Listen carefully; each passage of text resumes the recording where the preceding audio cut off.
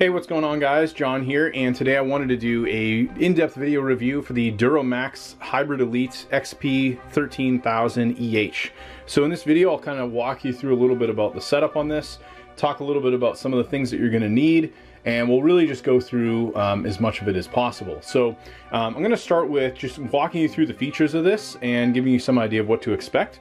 Um, so with this particular generator, you have um, basically up to 13,000 starting watts, and then this actually comes down to, I believe, around 11,000 or so uh, for running watts. So that means you could utilize um, quite a bit of power all throughout your house. We have a fairly large property with a detached garage that's actually even larger than our house. So we have two full 200 amp panels. Um, we have an extra apartment in our property, and this um, will actually support the entire property. I'll even get into a little bit of um, some of our power usage just so you can see a, a standard day. Um, but let's go through some of the functions of the generator itself. So this particular model actually has um, a dual mode, so you can run off of either propane or gas. There's basically a flip switch um, that you just turn it to more or less when you're ready to go on each side. You have a propane inlet here, so if you are gonna be running off of propane, this is where you connect that. This is a light that basically lets you know if there's any maintenance needed or if they've detected carbon monoxide. Typically, you do not wanna run this um, indoors whatsoever. I'm kind of in this unfinished basement space. We just store like pellets and things like that in here. Um, and this is basically a, a part of our basement. So I just keep it stored in here. Um, and overall, I wouldn't even want to run it in a space like this, obviously with the ceiling and everything like that. So um, you want to make sure that you are going to be running this outdoors. I'll also even show you the cable that I got and how I'm connecting all of this. You have your start button here, um, pretty standard. It basically works almost similar if you were turning a key on an engine in a car. Um, you have your breakers here that basically indicate um, whether or not these are on. Normally, um, when you're ready to go with this, you pull off this panel. There's just four screws here. There's a little battery you have to connect the cable, and it's almost the similar as a car, but a much smaller battery. You have um, this battery switch. You'll flip this on, and then you basically flip the idle control on. You have the circuit breaker set to off here before you're ready to go, obviously connecting everything. You start the motor up, and then once the idle control is good, you'll flip, I believe you actually turn this off, and then you're pretty much good to go, and this will kind of stabilize. You have your large AC um, adapter here, so this is basically your 240 volt. Um, I have a cable here, and this one I believe is around 30 to 40 feet. So I connect this in and into the actual generator, and then this side um, actually connects into a 50 amp um, box that I have here in the same space. So this is actually what that looks like. The previous owners actually installed this. I may even relocate this to the outdoors, but ultimately I connect it into here. This then connects into my panel and I'm able to um, use a manual transfer switch on the outside of the house to actually um, get everything up and running and that way we're not getting power from the grid. I'll even show you what that kind of looks like and I'll talk a little bit about that too. Um, beyond that, you have um, your 240 volt here as well. This is a smaller um, 120 volts. And then you have DC protection here. You have a little readout here for the multimeter. You have a DC um, connection here. So if you wanted to connect this to like a car, you've got another 120 volt AC plug here.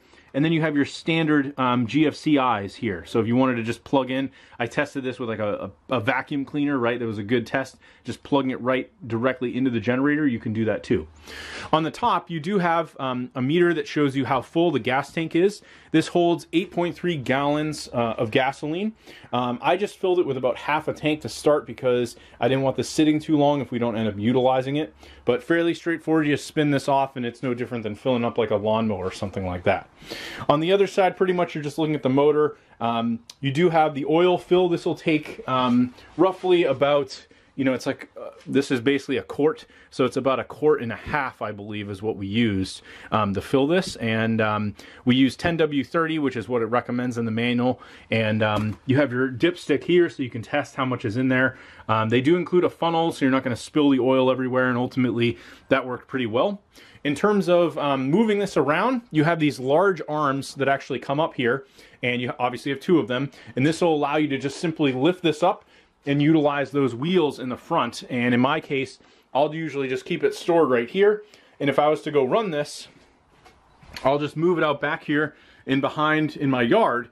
And then I can run this cord all the way from back here inside and up into my, my, uh, my plug. So um, overall, this thing is an absolute beast. I did want to cover one other thing that you may want to do because when I originally got this, one of my concerns was that um, we actually have, I'll just kind of show my, my setup here and I'll walk around the house. We actually have a, um, a gas boiler um, that's separate, uh, a whole separate boiler that's in the back here. And this actually heats our garage. I'll kind of show you my property so you have some idea uh, of what's going on. So if I walk up to the front of my driveway here, um, my house is over here on the right. So this is basically a standard like three bedroom house. And um, you know, traditionally with something like this, obviously this is gonna be like a standard house, not using too much power, but we have this detached garage with a apartment above it. So this is the garage. The entire thing is heated. I have a um, whole separate room there in the end and this finished apartment above. So if everybody's doing stuff right in the wintertime, let's say we've got all the mini splits on, using a lot of electricity, maybe there's a dryer going, something like that, we're gonna be using a lot of power. So um, what I decided to do is our main um, our main breaker is actually in the basement over on this corner of the house. So what I did is I hired an electrician and they came in and we were gonna install a manual transfer switch. But what I wanted to do is future-proof myself, so if we decided to upgrade it in the future to a standby generator, this would allow us to um, do that. So what I did is I installed a um, automatic transfer switch, and this actually has a capability. Um, if you take this off, I'm not gonna do that right now, there's a small, um, almost like pencil style um, switch that you can put into a plug and it will act as a manual transfer switch. So you can flip this down. This basically will shut off all the power coming from the grid and now I can go connect my generator um, to that um, to that 50 amp connection right to the generator, run that and run the entire house. Now, because we heat with things like this Mitsubishi Electric, if we had a really harsh winter day, maybe it's like negative two degrees out here. I'm actually in New England, so it gets pretty cold here in the wintertime. We might be running this. We have a pellet stove that heats our basement. Um, we also have an oil um, an oil furnace in the basement here. So sometimes if it's really cold, we'll run all three just to really heat the place. And then of course I have the natural gas actually running over in the main part of that garage. So if we were to lose power, it's gonna be pretty detrimental to, to our setup. So I wanted to suggest maybe putting something like this in, the automatic transfer switch, along with the generator um, that's going to basically allow you to have the future proofing capability without you know going the extra mile and having the electrician do like a manual transfer switch that you would later have to then upgrade to an automatic transfer switch. Um, so anyway I hope that helps you guys and gives you some idea of what to expect. Um, pretty much the main setup obviously would be having that electrician come in um, making sure you have the correct cable, you've got your 50 amp, you have your manual or automatic transfer switch, and then of course um, you've set this all up. Now one thing I did also want to point out is I have a electric meter that um, allows me to monitor what's happening for electric usage. So I'll actually pull this up. It's called SPAN. This allows me to see what the house is using for electricity. So this is a pretty standard day. It's not super cold out, so we're probably not even using that much electricity right now. You can see the whole house is using about 2,700 watts.